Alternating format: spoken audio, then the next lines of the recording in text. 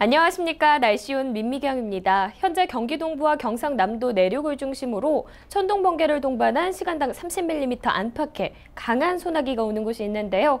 일부 내륙에서도 소나기가 내리는 곳이 있습니다. 오늘 밤까지 내륙 곳곳에 소나기 소식이 있으니까요. 피해 없도록 유의하시기 바랍니다.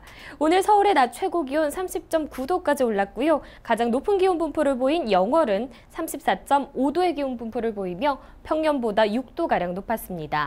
반면 가장 낮은 기온을 보인 속초는 20.4도를 기록했는데요.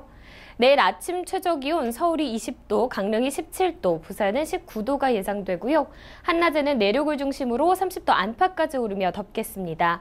낮 최고 기온 서울이 31도, 강릉이 22도, 전주와 광주가 29도, 대구는 27도, 부산은 24도의 기온 분포를 보이겠습니다.